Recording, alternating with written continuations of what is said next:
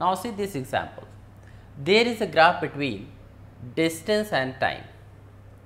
Here time is given in seconds, distance is given in meters. If I ask you to calculate speed between third and fourth second. So, now I have to calculate distance between first distance between third and fourth second.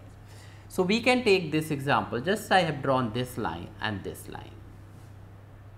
See this is the time interval, this is the distance, this we can take b and this we can take c.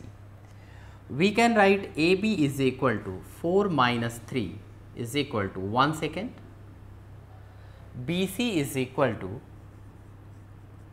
we can write 20 minus 15 meter is equal to that is 5 meter.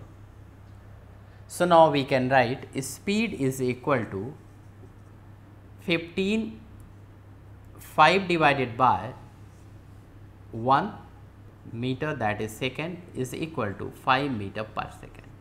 This we can say BC upon AB which is equal to slope of distance time graph.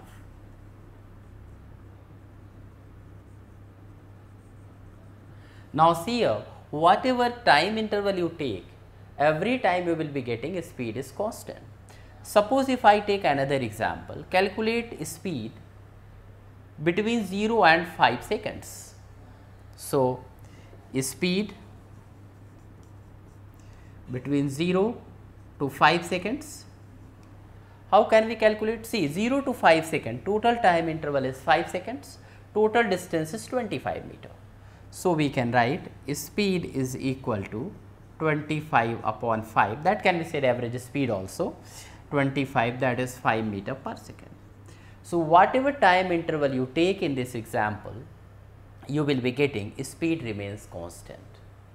So, for uniform motion graph is a straight line and speed remain constant.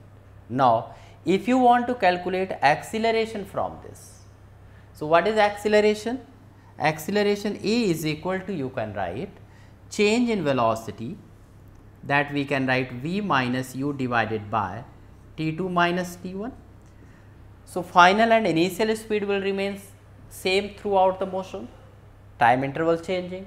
So, you will be getting here 0 upon T2 minus T1 is equal to 0 meter per second square. So, acceleration for this uniform motion is 0.